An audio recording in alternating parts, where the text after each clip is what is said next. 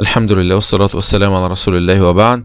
قراءة بالتهجي للآيتين من سورة البقرة آية 209 وآية 210 إن شاء الله. بسم الله الرحمن الرحيم. فاء فتحة فا همزة كسرة إي فاء نون سكون مع الإخفاء فإن زاي فتحة زا فإن زا فإن زا طبعا تذكير بحكم الإخفاء لما تكون النون الساكنة أو التنوين ويأتي بعد التنوين أو النون الساكنة حرف من حروف الإخفاء المجموعة في أوائل كلم البيت آه في أوائل كلم البيت صف ذا ثنا صف ذا ثنا كم جاد شخص قد سما دم طيبا زد في تقى ضع ظالما. يبقى ده حكم الإخفاء. نون ساكنة أو تنوين بعدهم حرف من حروف الإخفاء. ودايما بنلاقي النون في حالة الإخفاء بيجي معلاش حاجة زي النون دي كده. يبقى فإن زا فإن زا لام فتحة لا زلا لام سكون مع الإظهار المطلق زلال تاء ضمة تُ تاء ضمة تُ زللت ميم سكون مع الإدغام في الميم يبقى إدغام مثلين صغير. ميم في ميم إدغام مثلين صغير. طبعا عندنا أحكام الميم الساكنه ثلاث أحكام في القرآن الإدغام والإخفاء والإيه والإظهار. لما يكون بعدها حرف باء يبقى حكم إخفاء. بعدها حرف ميم يبقى اسمه إدغام مثلين صغير. أي حرف بعد كده يبقى حكمه إيه؟ الإظهار الشفوي. الإظهار الشفوي. يبقى هنقول إيه؟ زللتم مي. زللتم مي ودايما نلاقي بعد الميم بتيجي الميم مشددة كده بالشكل ده. يبقى ميم شدة كسرة. زللتم مي نون سكون مع الأقلاب. ودايما في حكم الإقلاب آه بيجي بعد النون الساكنة أو التنوين حرف باء. الإقلاب له حرف واحد بس والثالث الإقلاب عند الباء ميما بغنة مع الإخفاء. وبنلاقي النون يا حبيبي عليها ميم صغيرة كده فوق الحرف. ننتبه إن شاء الله. يبقى باء فتحة باء يبقى ميم باء ميم باء. عين سكون بع دال كسرة دي بعدي ميم بعدي ميم فتحة ما هم ألف سكون مد طبيعي ما جيم فتحة جا ألف مد واجب متصل جاء همزة فتحة جاء تاء سكون مع الهمس جاءت. ما تقولش بقى الهمس تخليه أشبه بالقلقال يعني ما تقولش جاءت كده لا هذا همس يسمعه القريب دون البعيد. يبقى جاءت كاف ضمكو جاءتكو ميم ضممو جاءتكم همزة وصل وسط الكلام لا تنطق ويبدأ بها بالفتح. لام سكون قمرية جاءتكم باء فتحة باء. الباء ياء شدة كسرة. البي نون فتحة ناء البينة ألف صغيرة مد طبيعي. البينة تاء ضمته البينات فإن زللتم من بعد ما جاءتكم البينات. فاء فتحة فاء همزة وصل وسط الكلام لا تنطق آه عين سكون فع لام فتحة لا فعل ميم ضممو فاعلموا واو مد جائز منفصل فاعلموا نمد أربع حركات من طريق الشاطبي. آه ألف صفر مستدير حرف علة زائد وسط الكلام. لا ينطق وصلا ولا وقفا. همزة فتحة آ فأعلموا آ نون شدة فتحة مع الغنة وغنة ميما ثم نونا شددة وسمي كلا حرف غنة بد. أن اسم الجلالة لا يتهجى تأدبا أن الله. عين فتحة زي كسرة زي عزي. يأسكم مضى طبيعي عزي. زي ضمتين. زون إظهار حلقي لأن بعدها حرف حاء والحاء من حروف الإظهار الحلقي المجموعة في البيت همز فهاء ثم عين حاء مهملتان ثم غين خاء. يبقى عزيز حاء. يبقى أن الله عزيز حاء فتحة حاء كاف كسرة كي حكي ياء سكون مض طبيعي حكي ميم ضمتين من حكيم طب لو إحنا هنوصل حكيم بهل اللي بعدها في الكلمة التانية في أول الآية التانية يبقى ده اسمه حكم إظهار إظهار إيه؟ إظهار حلق لكن إحنا نقف عليها هنقول مد عارض للسكون. يبقى عزيز حكيم. هقرأ الآية الثانية مرة ثانية فإن زللتم من بعد ما جاءتكم البينات فاعلموا فاعلموا أن الله عزيز حكيم.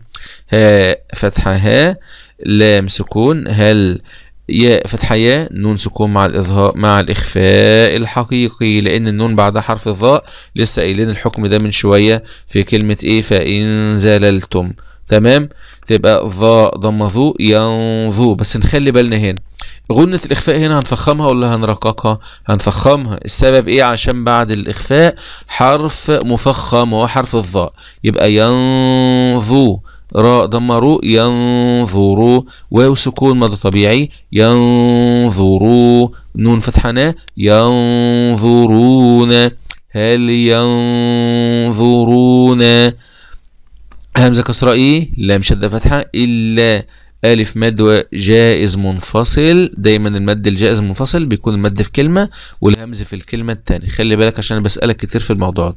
يبقى إلا نمد أربع حركات. همزة فتحة آ نون سكون مع الإدغام في الياء المفتوحة. إدغام إيه؟ إدغام بغنة لأن الياء من حروف كلمة ينمو. وقلنا قبل كده لما يجي حروف كلمة ينمو بعد النون الساكنة أو بعد التنوين يبقى ده اسمه إدغام بغنة إدغام بغنة يعني نقول إيه؟ هنقرأ إزاي؟ أي أي همزة فتحة آ ياء همزة سكون عفوا همزة سكون ياء تاء كسرتي يأتي ياء سكون طبيعي ياء سكون طبيعي صح ولا ياء مفتوحة؟ ورد عليا كده. ياء مفتوح؟ تمام تمام. يبقى يأتي هاء ضمه يأتيه ميم ضممه يأتيهم اسم الجلالة لا يتهجى تأدبا لكن هنفخم اللام هنا عشان اللام جاءت بعد ضم. وقلنا قبل كده اسم الجلال لما يجي بعد ضم أو فتح بتبقى اللام مغلظة يعني مفخمة. ولو جاء بعد كسر يبقى إيه؟ نقول إلا تبقى اللام مرققة. طب هنا جت بعد إيه؟ بعد ضم يبقى نقول إيه؟ يأتيهم يأتيهم الله. فكسر فيه يأسكن مد طبيعي في ضم ذو آه لام فتحة لا ظلا لام كسرتين مع الإدغام في الميم المشددة مع الكسرة. ظلاليم مي لأن الميم من حروف كلمة إيه؟ رد علي. من حروف كلمة إيه؟ ها؟ ينمو ينمو. إدغام بغنة إدغام بغنة لسه قايلها من شوية ركز معاي. قلنا لما يجي بعد التنوين أو النون الساكنه حرف من حروف كلمة ينمو يبقى ده اسمه إدغام بغنه يبقى ظلاليم نون فتحنا مينا آه همزة وصل وسط الكلام لا تنطق ويبدأ بها بالفتح. لام سكون قمرية ودايما اللام القمرية نلاقي عليها علامة السكون. من الغين فتحة غاء من الغاء غاء غاء ونفخم الغين لأنها من حروف خصة ضغط قض. الغين ما نقولش الغاء. ما نقولش الغماء لا الغاء الغاء وليس الغاء. من الغا ميم فتحة ماء من الغماء ألف سكون مد طبيعي. من الغماء ميم كسرة مي من الغمام واو فتحة و همزة وصل وسط الكلام لا تنطق ويبدأ بها بالفتح لام سكون قمرية والميم فتحة ما والما لام فتحة لا والملا ألف مد واجب متصل. ليه؟ لأن الحرف المد والهمزة الاتنين في كلمة واحدة. والملا همزة كسرة إيه؟ والملائي كاف فتحة في كاف. والملائكة تاء ضمته والملائكة وفتحة و قاف ضمكو وقو ضاد كسرة ضي وقوضي ياء فتحة وقوضي وقوضي نخلي بالنا القاف والضاد من الحروف المفخمة. وقوضي وقوضي اوعى تنطق القاف كاف. وقوضي وقوضي آه همزة وصل وسط الكلام لا تنطق ويبدأ بها بالفتح. لم سكون قمرية ال وقودي ال. همزة فتحة آ وقودي ال ميم سكون مع الإظهار الشفوي لأن الميم بعدها إيه؟ بعدها حرف راء إظهار شفوي. وقضي الأمر راء ضمروا مع التفخيم وقضي الأمر نقف عليه بالسكون العارض مع تفخيم الراء كذلك. يبقى نقول إيه؟ وقضي الأمر وقضي الأمر هكذا.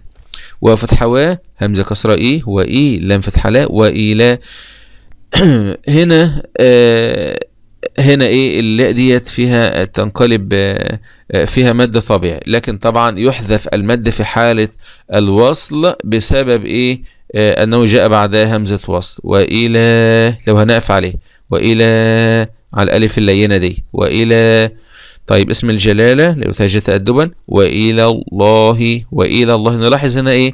لغينا المد ده خالص. المد ده أكنه مش موجود عندنا كأن اللام بعد اسم الجلال بسبب التقاء الساكن وبعده ساكن. وإلى الله تاء ضمة تُ آه، راء سكون مع تفخيم تر جيم فتحة جا ترجى عين ضمة عو ترجعوا. همزة وصل وسط الكلام لا تنطق ويبدأ بها بالفتح. لام سكون قمرية ال همزة ضم أو ال أو ميم ضم مو ال أمو واو سكون مد طبيعي ال أمو راء ضم رو الأمور نقف عليها بالسكون العارض آه، أو مد عارض للسكون عشان قبلها حرف مد. إمتى نقول مد عارض للسكون؟ لما نلاقي الحرف اللي إحنا نقف عليه قبله حرف من حروف المد. واو أو ألف أو ياء. يبقى سكون إيه؟ مد عارض للسكون يمد اتنين واربعة وست. يبقى هنقرأ إزاي؟ وإلى الله ترجع الأمور. هقرأ الآية مرة أخرى. هل ينظرون إلا أن يأتيهم الله في ظلل من الغمام؟ ما تقولش الغمام ها؟ ولا تقول الغمام. غلط. إنما الصح إيه؟ الغمام. في ظلل من الغمام والملائكة وقضي الأمر وإلى الله ترجع الأمور. التفسير الإجمالي للآيتين يعني الله تبارك وتعالى يقول فإن زللتم من بعد ما جاءتكم البينات فاعلموا أن الله عزيز حكيم. المعنى فإن انحرفتم عن طريق الحق. الآية دي طبعا بعد الآية اللي قبلها آه، مكملة لها. الله تبارك وتعالى أمر آه، بالدخول في السلم كافة يعني في أمور الإسلام كافة.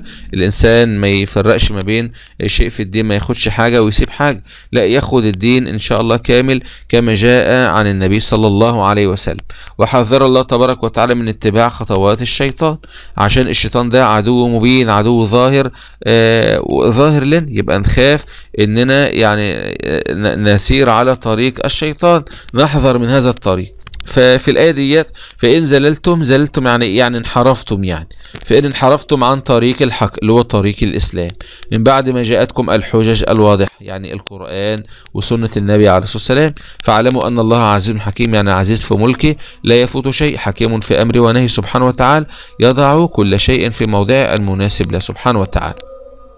هل ينظرون إلا أن يأتيهم الله في ظلل من الغمام والملائكة وقضي الأمر وإلى الله ترجع الأمور. يعني ما ينتظر هؤلاء المعاندون الكافرون بعد قيام الأدلة البينة إلا أن يأتيهم الله عز وجل على الوجه اللائق به سبحانه وتعالى آه، كما يليق بجلاله. من غير تشبيه ولا تحريف ولا تمثيل في ظلل من الغمام يعني من السحاب يوم القيامة ليفصل بينهم بالقضاء العادل سبحانه وتعالى وأن تأتي الملائكة وحينئذ يقضي الله تبارك وتعالى فيهم قضاءه وإليه وحده ترجع أمور الخلائق جميعها سبحانه جل وعلا. نسأل الله عز وجل أن يسلمنا في هذا اليوم العظيم. وفي هذا الحد الكفاية ونسأل الله تبارك وتعالى الهداية.